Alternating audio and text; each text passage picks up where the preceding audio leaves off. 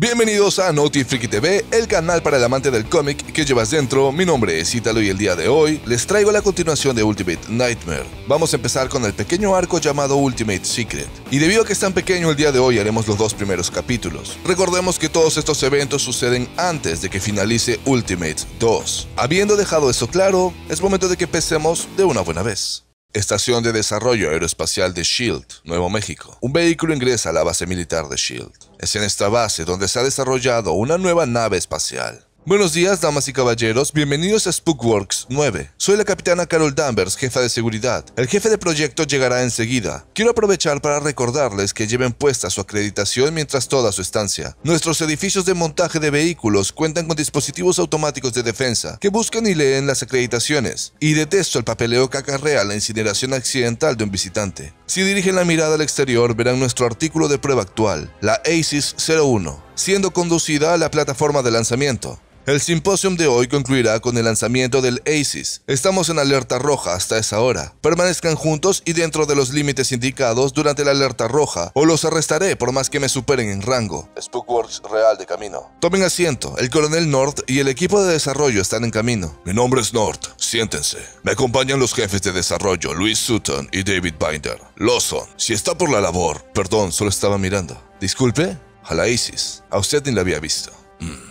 El doctor Lawson es un civil, claro, y seguramente deberán disculparle, por más que nos cueste. Él y los doctores Sutton y Binder tienen el acceso autorizado a los niveles Cetro o por encima de 22. El doctor Storm, supongo, del proyecto del edificio Baxter, ¿ha venido con Reed Richards? Me temo que no. Reed ya tiene la cabeza en las nubes y la seguridad sigue siendo primero. Lástima. En todo caso, es un honor conocerle. Doctor Lawson, ¿podemos empezar, por favor? La ISIS es el primer prototipo operativo basado en el proyecto de propulsión avanzada de SHIELD. Toma las mismas teorías del mismo PPA de la NASA y las pone en práctica. Hoy en día existen dos tipos de motor espacial, el químico usado en los B-2, el Apolo y las lanzaderas, y el iónico que mueve nuestras ondas espaciales. La propulsión química es lenta, ineficaz y pesada. Acuérdense del Apolo, es como apilar explosivos hasta la altura de una farola para lanzar una nuez. La propulsión iónica se basa en la aceleración acumulativa provocada por una pequeña presión constante, algo así como un velero espacial. El Dr. Binder es el responsable de nuestro gran descubrimiento. Un aparato eléctrico nuclear abre una zona de energía del punto cero dentro del reactor de la ISIS. ¿Eléctrico nuclear? ¿Eso no es peligroso? Varias de nuestras ondas espaciales han encontrado con fuentes de alimentación electronucleares y fueron lanzadas mediante cohetes de propulsión química. Si uno estallara, podría esparcir material radioactivo, es cierto, pero confiamos en nuestros escudos. En todo caso, no es más que un motor de arranque para la zona del punto cero.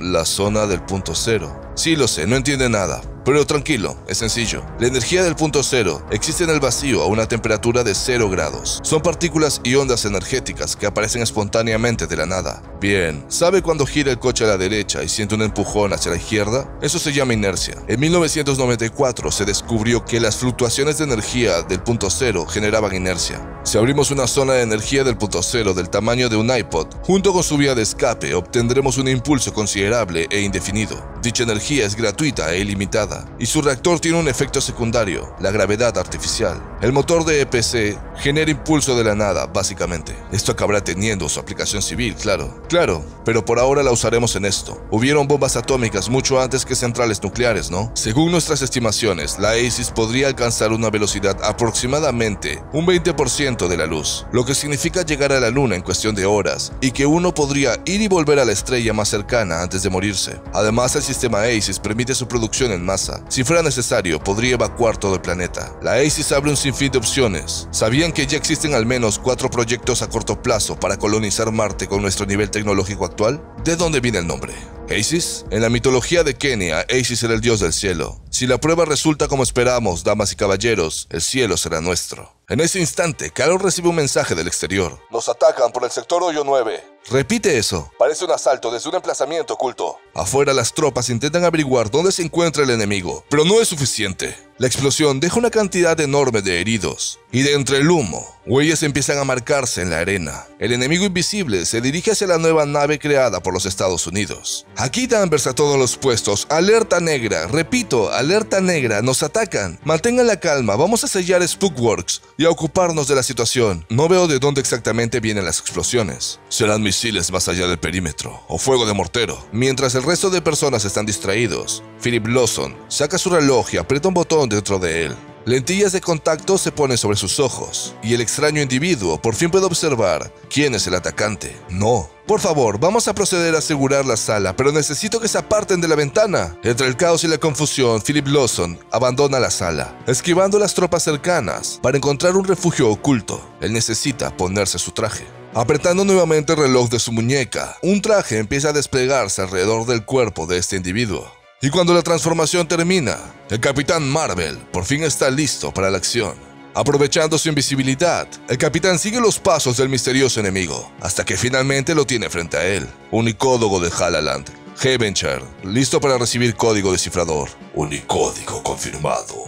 Rango. Plus comandante, Generesi Halason Marvel. Escáner visual erróneo. No presenta fisionomía Cree. Conexión a crucero, información nocturna. Archivo infiltración. Punto Marvel. Punto cirugía. Conectado, espere. Mensaje en relación a archivo de Shiptain. Yang Rog. Parámetros de misión alterados. Los humanos no deben abandonar el planeta. Destruye Lacys o cae en desgracia. Identidad del Plus Comandante Marvel confirmada. Vaya. Ahora confirmas mi identidad. Rapidez ante todo. Lo de caer en desgracia aún significa ser reducido a fango y batido de proteínas. Dile a Jan Rog que es una almorrana y que lo mataré por esto. Ante la hostilidad del capitán, el enemigo robótico lo ataca, pero él no pierde mucho tiempo para contraatacar. El ataque de Marvel remueve la invisibilidad de su enemigo, pero este robot tiene armas de calibre pesado. Oh no, el disparo impacta contra el Capitán Marvel, haciéndolo retroceder. No voy a detenerlo, ¿verdad? Y en vista de que sabe que no puede enfrentarse cara a cara contra su enemigo, el Capitán Marvel planea la huida e ingresa a la nave Aces. En ese lugar se dirige hacia el núcleo radioactivo y empieza a destruir todos los cables. Vamos, vamos, ¿cuántos cables está puesto Binder? El robot sigue en espera de la destrucción de la nave, evento que finalmente ocurre ante el asombro de todos. Desde la explosión emerge el Capitán Marvel con el núcleo creado por su equipo e ingresa dentro de un vehículo cercano. Lleven esto hasta el hangar y guárdenlo con la vida si es necesario, o lo sabré. Después de encomendar el núcleo, el Capitán Marvel regresa a la batalla. Te voy a desconectar, retrasado asesino mecánico. Rango de pluscomante no autorizado para desactivar exterminador. Mi padre colaboró en tu diseño, bestia. Generis Cole Ha, padre tercero de Marvel. Excomulgado en periodo Ana, ciclo, quinto. ¡Cállate! Puedo hacer lo que me plazca. Cañón de brazalete a plena potencia. Marvel introduce su puño dentro de la garganta del robot y luego despliega todo su poder haciéndolo explotar. Eso ha sido muy estúpido. Chicos, ayúdenme a levantarme porque... Ah, soy Spider-Man, en serio. Ah. Ahora el viejo Spidey se va a echar una siesta, chicos. Después de desmayarse, el individuo extraterrestre es llevado a una locación segura. Ah. Tengo algo en el cuello. Explosivo plástico. No hemos logrado averiguar cómo sacarte el uniforme, por eso te lo hemos colocado. Si pulso este botón rojo, solo morirás tú. Bien, voy a proceder a extraerme el uniforme. Lo haré accionando el dispositivo de mi muñeca. Mantén el dedo sobre ese botón y vuélame la cabeza si crees que voy a atacar. Marvel retrae su traje y Carol Danvers no puede creer quién está debajo de él. No, no me lo creo. Es imposible. Vamos, tú nunca habías confiado en mí. Nunca me he fiado por tu hermetismo y porque estás chiflado, pero no te estoy hablando como si fueras tú cuando no lo eres. ¿Perdón? Tú no eres Philip Lawson, ¿no? Lo siento, pero sí que lo soy. Soy el mismo que ha elaborado el traje. Como hobby, basándome en la iniciativa Iron Tech de Tony Stark. Vi el ataque, los soldados eran incapaces de contenerlo, y bueno, pensé que podría ayudar. ¿Y la invisibilidad? Tecnología a modo fotosensible de SHIELD. No tienes autorización para acceder a la tecnología fotosensible. Soy un hacker. ¡Mentira! Es una enfermedad. Soy un chico muy malo. Te voy a proponer un trato, Lawson. Cuéntame todo ahora mismo y no me obligarás a entregarte al Departamento de Inteligencia de SHIELD para un interrogatorio quirúrgico. ¿Estás de acuerdo? Hmm, bien. Me llamo Generis Halason Marvel, rango plus comandante, oficial de la flota estelar Kree. El rango de plus comandante es similar al de tus capitanes. ¿Ya estás contenta? En éxtasis. Bien, ahora concrétame una entrevista con el general Nicholas Fury. Oh, puedo apostar que nos veremos, Dr. Lawson. Capitana Danvers, puede salir un momento. ¿Quién es realmente? No querrá usted saberlo, general. Escúpalo, Danvers. Ah, se llama Capitán Marvel y es un astronauta de la tribu india de los Kree, señor. ¿Ah? ¿No se supone que tendríamos que avisar a los nativos americanos? Supongo. Bien. ¿Con qué es usted un Kree, Capitán Marvel? Supongo que es un modo de salir de la reserva, ¿verdad? Oh, vamos. Primero es Marvel, separado. Segundo, el nombre de mi especie se escribe con K. Tercero, bueno, usted sabe que hay extraterrestres con actividad en la Tierra, ¿no? 10, 11, si contamos a los Chitauri. Ya, buen trabajo con ellos, por cierto. Ajá, 12 contando a los Kree, pero sin presencia física en el planeta. ¿Por qué? Porque tememos el salvajismo humano y sus bombas atómicas. ¿Quieres que te haga una demostración? Órdenes. Estamos en una misión de observación, no levantar sospechas, obrar bajo las sombras. Yo era el oficial asignado al trabajo, encubierto, sometido a una cirugía. No eres un cambiaformas. No, soy un alienígena del espacio que recibió una cirugía. Si me casara con mi prima y grabara nuestros rituales de apareamiento, sé que me darían mi propio programa de televisión. ¡Ja! Eres muy gracioso, ¿sabes eso? Para ser un alien y todo eso. Bastante gracioso. Eso es algo muy bueno. De repente Nick Fury golpea a Marvel. Ahora dime qué estás haciendo aquí exactamente. O tendré que suponer que tienes el cerebro en el mismo lugar que los humanos y luego dejar que los forenses contesten a mis preguntas. ¿Sabes a lo que me refiero, no? Idiota, me he rendido. Tan ciegos están que son incapaces de ver lo evidente. Soy un desertor, maldito estúpido. Me mandaron a observarlos y luego me ordenaron destruir su programa espacial. Nos enviaron como testigos de la muerte de la humanidad. ¿Qué? Es ahí donde el Capitán Marvel pronuncia las tres sílabas que más terror le han causado a Nick Fury últimamente. Galactus. Mira, ahora me vas a decir, ¿dónde has oído eso? Claro, porque han encontrado a su heraldo, ¿no es cierto? Dime ahora mismo dónde has oído eso, chico. Es un término Cree, así denominamos a lo que se aproxima, fue acuñado en el lenguaje común, en... Ah, ahí afuera, digamos. Sabemos qué es lo que viene y lo rastreamos, y acampamos aquí durante largos años para verlo llegar. Me enviaron a supervisar su mejor programa espacial, para ver si alguno abandonaría a tiempo la Tierra. Estamos aquí para verlos morir, Fury, para ver cómo se desenvuelven en esta situación. Danvers, queda asignada a mi ayudante personal. Dígale al Dr. Storm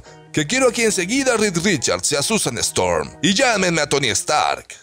Muy lejos de ahí, en el edificio Baxter, Reed intenta resolver una ecuación. Ese es el problema. ¿Qué es, Reed? ¿Eso es lo que te trae pensativo toda la semana? Sí, bueno, esto e intentar que mi iPod levite. ¿Qué es eso? Esto es la ecuación Drake. Sí, Reed, eso no me explica nada. La N representa el número de especies alienígenas en nuestra galaxia con las que podríamos establecer contacto. Ajá. R es el índice de formación de estrellas. FP es el número de las mismas que podríamos encontrar con sistemas planetarios. N es el número de los que podrían albergar vida. Te escucho. Lo que nos lleva a la L, que es la esperanza de vida en una civilización lo bastante avanzada como para contactar con nosotros. ¿Y el resultado? Bueno, cuando su autor Frank Drake introdujo sus números, obtuvo 10.000 especies alienígenas. ¡Ja! ¿Qué cosas? 10.000 especies alienígenas y solo conocemos a los Chitauri, que por cierto vinieron a invadirnos. A eso me refiero. Pero lo que en realidad me preocupa no es la ecuación Drake, sino la paradoja de Fermi. Bien, entonces te morderé. Si sigues así, voy a matarte. Inténtalo, chico de goma. Ven, escucha, hay 10.000 especies alienígenas con capacidad para contactar con nosotros, y conocimos la primera el año pasado. Y tal vez ni siquiera fueran de esta galaxia, según algunos de los periódicos de la red. Si existen 10.000, pero ni las vemos ni las oímos, se produce una paradoja. O bien, tanto nuestras observaciones como nuestros conocimientos fallan o son incompletos. Ya no podemos decir que no creemos en extraterrestres. No, pero sí preguntarnos dónde está el resto. Ajá, sí, interesante, ¿verdad? Eres de mente perversa, sé que solo hay una conclusión en tu cabeza. ¿Cuál? Que algo los destruye antes de alcanzar el punto tecnológico necesario para establecer contacto. Y lo crees porque en tu interior eres un chico muy desagradable. Ya he visto lo que escuchas en el iPod. Siempre tuve alma de siniestro, pero escucha, podrían coincidir con ese perfil Chitauri. ¿Recorrer la galaxia aniquilando civilizaciones? Creo que eso no era más que habladuría, ¿no crees? Podrían ganar los Ultimates a los reyes del universo, pero verse incapaces de evitar que Hulk se comiera media ciudad? No lo creo. En ese instante el teléfono suena. ¿Una carrera? Sí. A las 3. ¡Tres! Y finalmente es Storm quien logra contestarlo. Me da igual, acabo de resolver la paradoja de Fermi. Genial cariño, tú aférrate a eso mientras yo me llevo el trofeo telefónico por octava vez consecutiva. Séptima, la penúltima vez no cuenta porque me mordiste el trasero, ya te lo dije. Diga, hola papá, ¿qué tal el congreso? Ah, sí, yo, bien. John y Ben sí querrán venir. Sí, pero ¿tú estás bien? ¿Seguro? ¿El Triskelion? Sí podemos, bien, bien. Ya hablamos más tarde, adiós. Problemas. ¿Qué? ¿Qué demonios están haciendo? Sí, Susan Storm del edificio Baxter. No necesitaremos su transporte, pero sí que nos comuniquen su posición GPS. Estamos, bueno, había unos trazos por ahí tirados, tuvimos una idea y... Construimos un destilador. Eso. Juraría que aquí hay componentes de mi viejo acelerador de partículas. ¿Intentan destilar alcohol con un aparato diseñado para la obtención de partículas subatómicas? Pensamos que así sería, no sé, más rápido. Listos para irnos. Dicen que en 5 minutos llegará un vuelo de escolta. ¿A dónde vamos? ¿Puedes creer que los Ultimates nos piden ayuda? Así que papá se asegurará de que seamos espías y luego conoceremos a los Ultimates. Por ahora sí. Bueno, papá dice que General Fury está al mando. ¡Qué genial! Pero preferiría conocer a Iron Man o a Thor. Ese sí es genial. A mí también me gusta Thor. Es musculoso y tiene una cabellera muy larga. Súbete al coche de una vez. Oblígame, niño. Introducida la localización GPS, Reed. Bien, allá vamos, abriendo con puertas. La nave de los cuatro fantásticos se despliega. ¿Y dónde está la escolta? Además, no sé cómo se les arreglará un helicóptero del Triskelion para seguir a nuestra nave. Ni idea, a lo mejor deberíamos subir un poco más y buscar un caza. Oh, creo que ya veo. ¿Nuestra escolta? Genial, esto va a ser genial. En el cielo, para escoltar a los cuatro fantásticos, han venido Thor y Iron Man. Buenas tardes, niños. Me han dicho que el mundo entero vuelve a estar en peligro por culpa de unas horrendas bestias alienígenas. Lo de siempre. Así que lo que vamos a hacer es viajar por todo el continente a toda velocidad, encontrar criaturas viles y matar a todas. Luego nos tomaremos unos tragos. ¿Están listos? Muy bien amigos, de esta manera acabamos el primer video que haremos sobre Ultimate Secret. Espero que lo hayan disfrutado, ya que ha tenido la participación de personajes que me han estado pidiendo que traiga al canal por mucho tiempo, los cuatro fantásticos, además que hemos visto a Ultimate Capitán Marvel. En el próximo video cubriremos los dos últimos capítulos de este mini arco, y de esta manera estaremos más cerca de poder cubrir el arco final donde aparece Galactus. Así que no se vayan a perder ninguno de esos videos, pero por ahora, esto ha sido todo, mi nombre es Ítalo y han estado viendo Notifriki TV, muchas gracias por la preferencia.